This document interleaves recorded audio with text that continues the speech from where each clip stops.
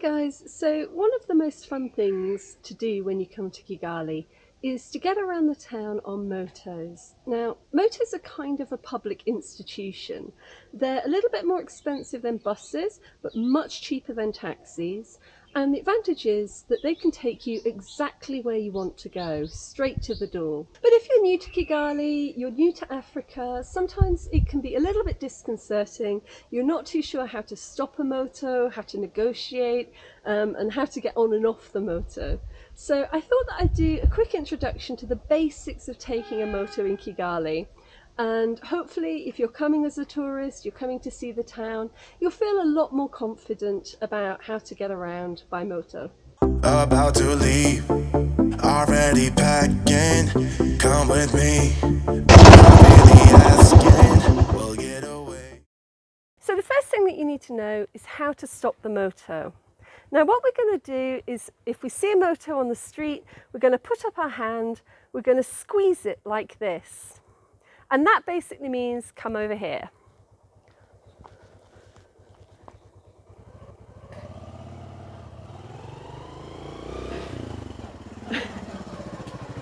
Thank you. okay, so the first thing to know about getting on and off a moto is it's not really polite to manhandle the driver. So try not to put your hands on them, try not to, you know, hands on the head. Um, if you feel like you need extra support, you can ask, Sean, is it okay if I do this? Yes. Yeah, okay. So if it's okay to put your hands on, he will say, and you can do that. But on the whole, it's not a good idea to do that. So what I find the best method is, is getting on and off, is I stand like this, I put one hand on the saddle and I lift my other leg over. And then I'm sitting on the moto. And to get off, similarly, I'll put my hand there to steady myself and I'll get off again. So getting on and getting off. So something else to be aware of is if you're wearing a skirt, you are probably going to want to pull it up a little bit as you get on and off, but always be aware of where the exhaust pipe is. Never get onto a moto in a skirt or in shorts on the side that the exhaust pipe is on because that is really, really hot and it will burn your leg. So what you want to do is to go to the opposite side of the motor and get on from that side. Okay, so avoid the exhaust pipe.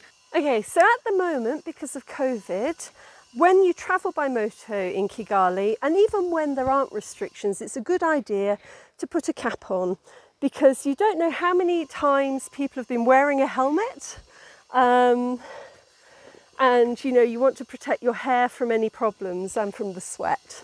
So either before you get on or once you get on the back, your driver will hand you the helmet. And what we're doing is we're just putting it on our heads and fastening it underneath. Now, most helmets don't fit very well. They're not designed to, it's more to protect your eyes and your head if there are rocks on the road or anything like that then to protect you if you really fall off. So a lot of people choose to buy their own moto helmets and bring them with them. Uh, that's a great idea if you're planning to take a lot of motos, but they do tend to get forgotten in bars quite often. So just remember where you put them down. Okay,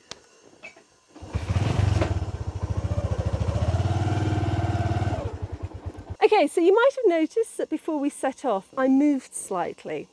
So what's happening is before we set off, Jean needs to start the engine. And to do that, he has to put his foot back. So when he puts his foot back, I need to move my leg slightly, my right leg slightly. And then once it's running, I put my feet back and we're good to go.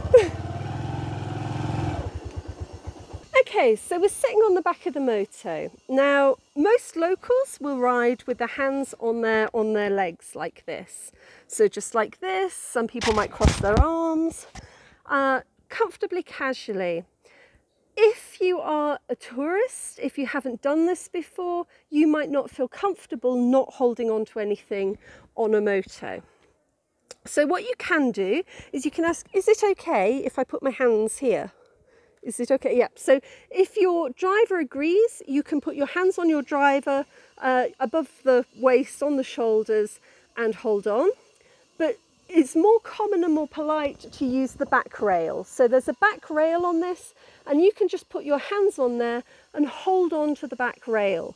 But if you don't feel safe doing that, if you feel like you're not balanced, you can ask if it's okay to put your hands on the shoulder. Okay, so this might be your first time on a motorbike, or you might not have done it very often. And an instinct is to sort of tense up, to grip on as hard as you can, and to kind of try to control the way that the bike's going. The best thing to do is just make friends with your hips. Your hips are your saddle on this. You're just nice and centered, you're nice and relaxed, and whichever way the bike is going, you're going with it. So just from your hips, allow your hips to go. Whichever way the bike's going, left, right, just let your hips go with it. You're not leaning, you're not pulling back, you're not trying to guide it in any way, you're just sitting on your bum and allowing your hips to do the work and just sort of moving fluidly like water. okay, so there are two ways to pay for a moto journey.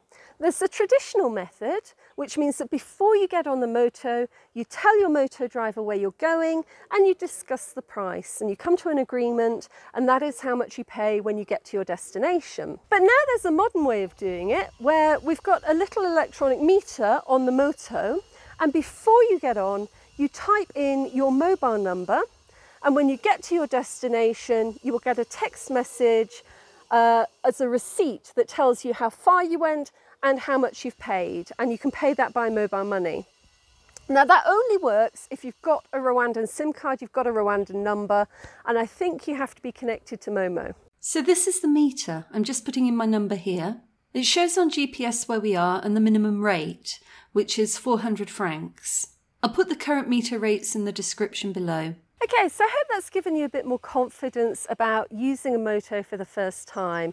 Knowing how to stop, just to kind of come here or slow down and stop. Um, how to get on and off uh, as elegantly as possible. Um, and how to stay on, of course, is quite important. But I'm going to go over a little bit of language now that will help you to communicate with your driver, to slow down if they're going too fast, to speed up if they're going too slow, and generally just to direct them in simple terms. And I really recommend using motos when you come to Kigali. They are a national institution and they keep the country moving. Um, so just once you've built up your confidence and you've done it once or twice, you're going to feel fine about it. So the most important word that you're ever going to need is bohoro, and this means slowly. So if your motor is going too fast and you want them to slow down, then you say bohoro and you say it twice. Bohoro, bohoro. Slowly, slowly. And they will slow down. If for some inexplicable reason your moto is going too slowly and you want them to speed up, you can say vuba, vuba vuba, to get them to speed up. But be warned, if you do this, they might take off at quite a pace. So left and right are a little bit tricky. I don't really have an easy way to remember these. Right is iburio and left is ibimuso. And an easy way to say turn is kata. So kata ibudio, turn right, and kata ibimuso, turn left. So turn left, I kind of think about it like the cat chases the mouse. Kata ibimuso. Kata is chasing the mouse. Kata ibimuso. Continue straight ahead is komeza imbiri. So komeza sounds a bit like continue, and you're saying continue straight ahead.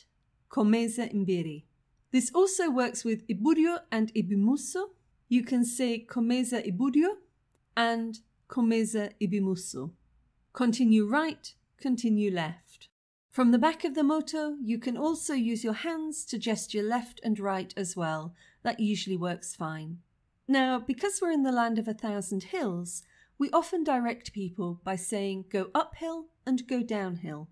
Uphill is zamuka, downhill is Manuka, like Manuka honey.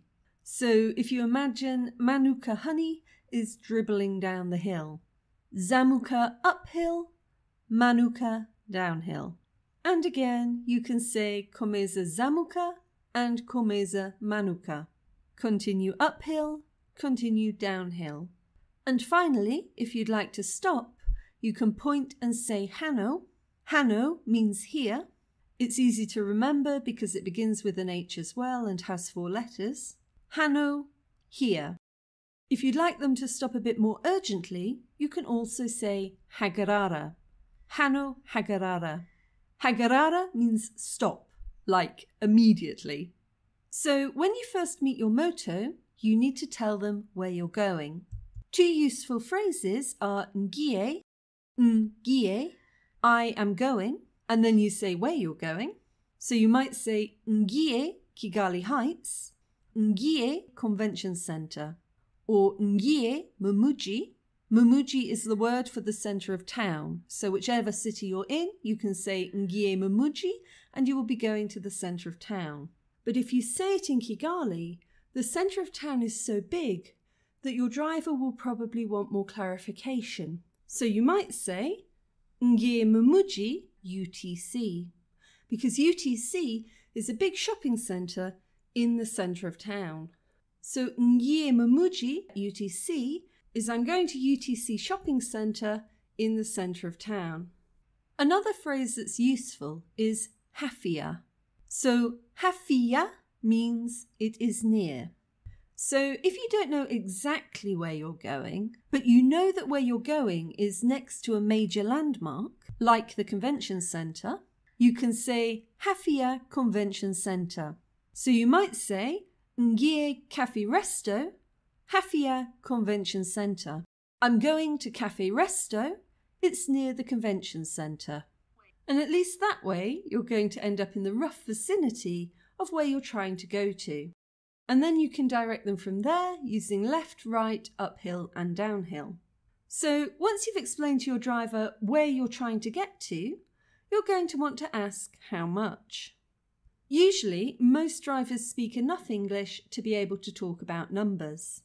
But if you'd like to, you can ask nangahe, nangahe, which just means how much. But be warned, if you do use nangahe, you're probably going to get the response in Kinyarwanda as well. I am going to do another video on counting in Kinyarwanda. Every now and again, you might end up with a slight situation in which your moto driver pulls out their mobile phone and starts texting. Should that ever occur, the phrase you're looking for is oya, which means no, and witonda, which means be careful. So oya Witonda should get them to put away their mobile phone and concentrate on the road. Now, not all communication is verbal in Rwanda. There are a couple of signs that you want to look out for. If you're negotiating a price, your driver might not say yes or no. They might shake their head for no or wag their finger. And for a yes, they're quite likely to raise their eyebrows. So if you're discussing prices and your driver raises their eyebrows, that means yes, that's an acceptable price and you can get on. Again, when negotiating prices, in the West, we tend to show our five fingers extended to represent the number five. But it's quite common in Rwanda for a driver to show a closed fist to represent the number five. So if you're negotiating a price and the driver holds up a closed fist, they're usually saying it's going to cost you 500 francs to get to where you're going. And the final one, if you see a moto and you start clenching your fist to say, come over here, and the moto wags their finger and continues, don't take it personally. It just means that they're going to collect somebody, or they're running another errand, or they're on their way home. Wait for the next moto and try again. So I hope this has been helpful and given you some confidence for motoing around Kigali. It's a lot of fun and really convenient once you get the hang of it. Let me know below where your first ever moto journey is to and from. And if you've enjoyed this or you found it helpful, please give it a like and consider subscribing.